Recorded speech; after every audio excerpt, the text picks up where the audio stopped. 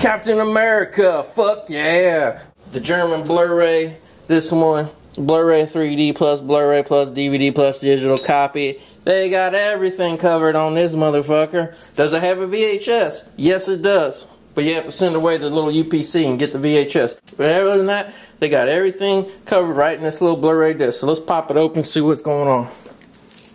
This one is a nice looking, I don't know if you can see that there's a border pressed into it. Nice looking Blu-ray steelbook. Of course, those Americans are not fit for that. Fucking, I don't know what we got. We probably got some Best Buy cardboard slip-covered dog shit that they charge us $10 more for. But Germany, they got the fucking steelbook of Captain America. And they also got fucking a horrible fucking sticky jism laden filled fucking cardboard. Jesus. Jesus thing won't come off. Jeez. Fucking what's the point of buying a steelbook with cum all over it? Alright, rating sticker removed. Here we got here we got the front cover. This is all popping out 3D quality printing. Then we got the border. Really nice fucking packaging. They went all out on this fucking steelbook right here. Got the spine. On the back here we got a nice fucking picture of Captain America. He's there looking badass. There's all kinds of dirt shit flying around from him. Captain America, if you haven't seen this movie, originally Captain America beat up all these Nazis, but now they have them fight fake Nazis called Hydra because they didn't want to offend, you know, they want to be politically correct with this Captain America movie. They don't want to fucking, you know, offend them Nazis. I can't offend them Nazis. They're a, a big core group of the fucking, you know, movie ticket buying public. Don't piss off them Nazis, man. Let's play nice with them fucking Nazis. Pop it open.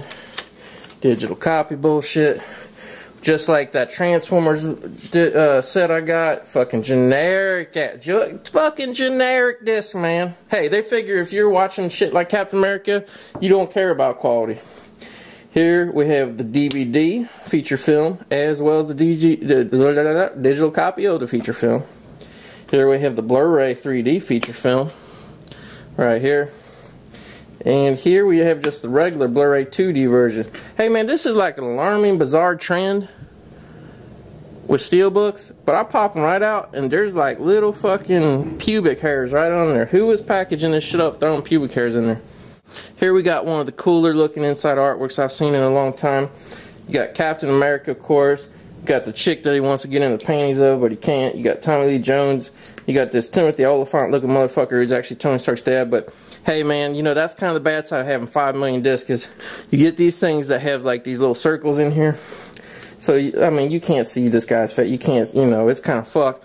But hey, what are you going to do? You know, they wanted to throw in 5,000. I just would have been happy if they would have done like a one disc or and just, you know, but hey, they wanted to separate everything out and give you 50 discs with this. But that's it, man. Captain America, there you go. Disc galore, albeit generic disc galore as well as some really nice artwork. So if you're a fan of this film, I didn't think this movie was that great, just because it kind of took the, you know, the the Disney fucking corny thrill ride, fucking nothing too harsh version in it. You know, it's a little gentified Captain America pussy version, but hey, what are you gonna do? You gotta watch this if you want to watch the Avengers, I guess. So that's it, man. Nice looking set. What this lacks as a movie, I'll certainly, you know, swallow with this set is good. So that's it. Hillbilly DVD is Captain America. Fuck yeah.